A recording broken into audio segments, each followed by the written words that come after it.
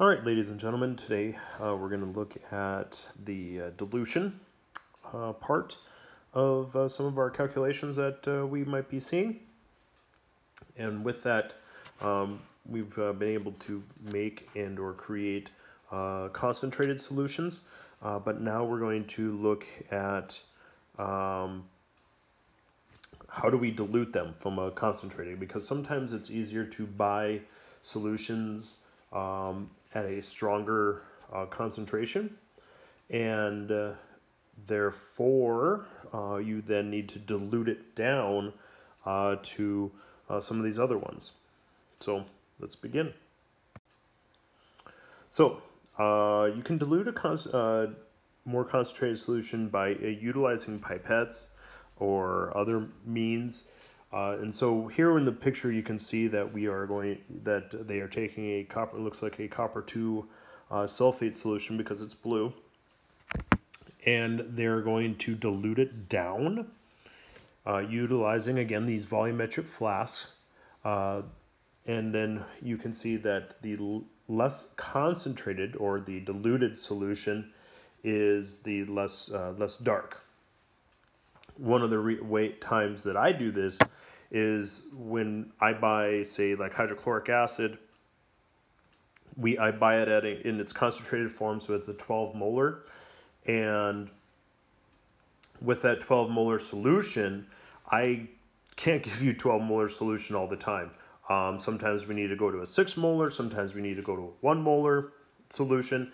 And so what I have to do is very these very similar things where I have to uh, take the solution from its concentrated form and then dilute it down depending upon uh, what amount or what strength of hydrochloric acid I need for the lab or will be sufficient and safe for you to safely do the lab um, as we uh, look at that.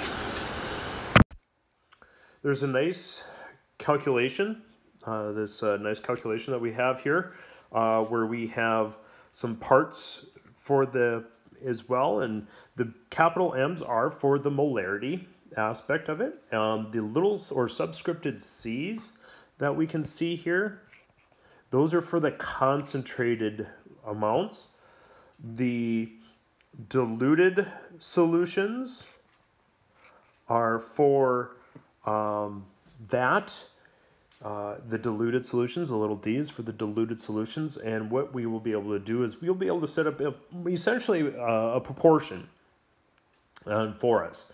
Um, way The way we, this is usually done is you actually might not even have to do as much converting into and out of uh, liters as what, because of how the the labels will cancel each other out or become one, depending on how you want to look at it.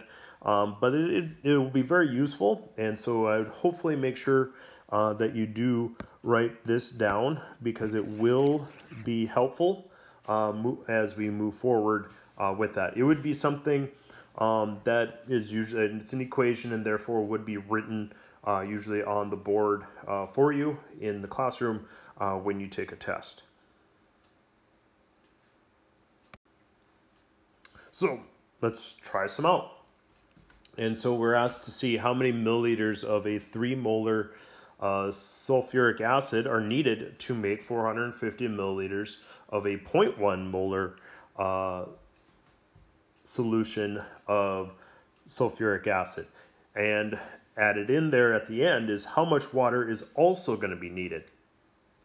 This is very common is usually you know how much of the diluted solution you actually need. Uh, then from there, you are going, okay, I need to do this lab, I need this much of a uh, solution, uh, and I will need it at this strength. I don't have that strength, I need to make it. And so this is very similar uh, type of calculation that uh, we would do with that. And so we set up our proportion uh, the same manner in that we have our molarity of our concentrated solution times the volume of our concentrated solution is equal to the molarity of our diluted solution times the volume of our diluted solution. Now I'm going to take and put these values in the uh, part here. And so uh, we will have our constant uh, molarity of our concentrated solution times the volume of our concentrated solution. That's what we're asked to find, or what we're actually want to find in uh, this problem here. And then I'm going to have a my concentration of 0.1 molar times the volume of 400 nope 450 not 55 milliliters with that. And so what we'll be able to do then is to take my 0.1 times 450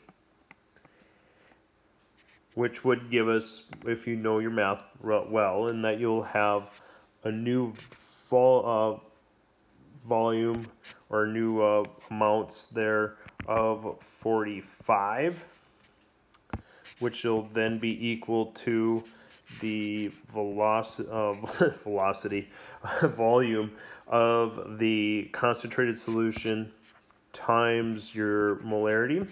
Divide both sides by your molarity uh, not thinking of the answer already. And so we would divide by 3 uh, with that. And when we do that, we find and see that our answer is 15 milliliters. Now that's 15 milliliters of my sulfuric acid. 2SO4. How much water do I actually need? Well, I, if I want a total volume of a solution to be 450, I need to subtract off that.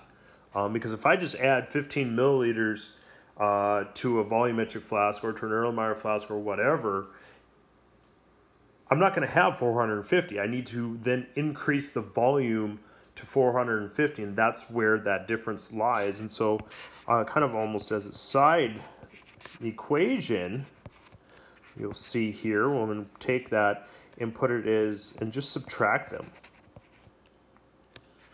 And for that we will then find what my volume of water will be and hopefully you should be able to see and look at the value here and be able to maybe even do this in your head for the value of 435 milliliters. And that would be of H2O.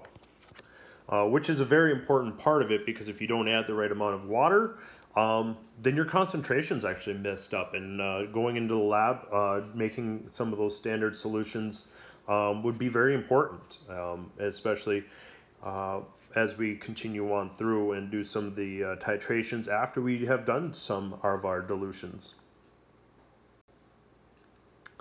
The next problem is a, solving a little bit different in that we're asked to, if what is the actual uh, resulting solution, it's done the same way. Um, and so we have our 10 milliliters times our 10 molar solution, which would be a very strong concentrated solution of sodium hydroxide. Uh, to make that, it would definitely give off a lot of heat. is extremely exothermic as well. And I will ultimately be looking for my molarity of my diluted solution with that.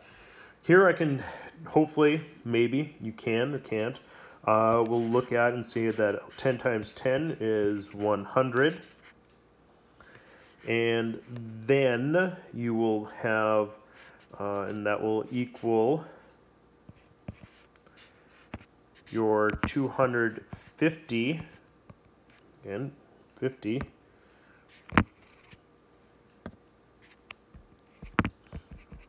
milliliters. And technically this is molars uh, times liters. We can get into that later. And solving for the molarity of the diluted solution. To get that by itself, I need to divide both sides by 250.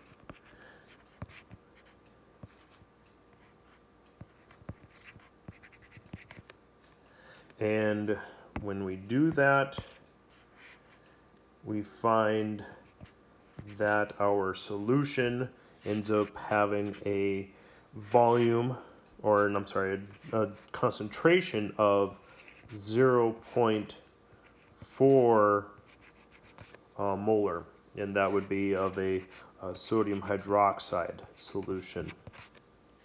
A lot of times, though, uh, for sodium hydroxide solution, sometimes you'll find them in uh, large vats where we would make six, but sodium hydroxide is kind of finicky and it doesn't actually last all that long. Um, we have to keep them in usually uh, amber colored bottles so that they it doesn't it's photogenically uh, deteriorates, which means the sun actually will deteriorate it down as well. And so uh, from here, we will look at doing some more uh, calculations, doing some stoichiometry stuff with uh, some of these, and doing some titrations, uh, both in the lab and in notes.